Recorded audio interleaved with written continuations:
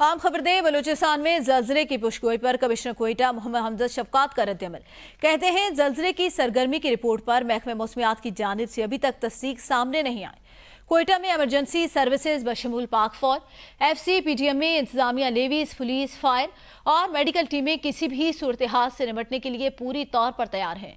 ऐसे तमाम प्लाजे जो नक्शों के बगैर हैं या बोसीदा तामीरात या नाले पर बनी हुई बिल्डिंग्स के खिलाफ एक्शन शुरू है।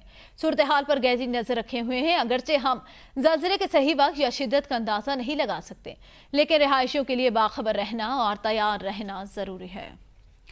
आपको बताएँ कि एक वेबसाइट पर जो खबर जारी की गई थी कि कोयटा में आज के दिन जो है वो अगले 48 घंटों में जलजले के इम्कान थे उसके बाद कमिश्नर कोयटा हमजा शफकात की जानब से उनका मौकफ भी सामने आ गया। उनकी जानब से कहना था कि हम किसी भी नाखुशगवार वाक़े से निपटने के लिए तैयार हैं, जबकि पुलिस, रेंजर्स और एफ़ सी भी मुकम्मल मुआवनत के लिए तैयार है। महकमे मौसमियात की जानब से रिपोर्ट की तस्दीक अभी तक नहीं कर सकते। इंतजामिया समेत दीगर इदारे हंगामी सूरत से निपटने के लिए तैयार हैं।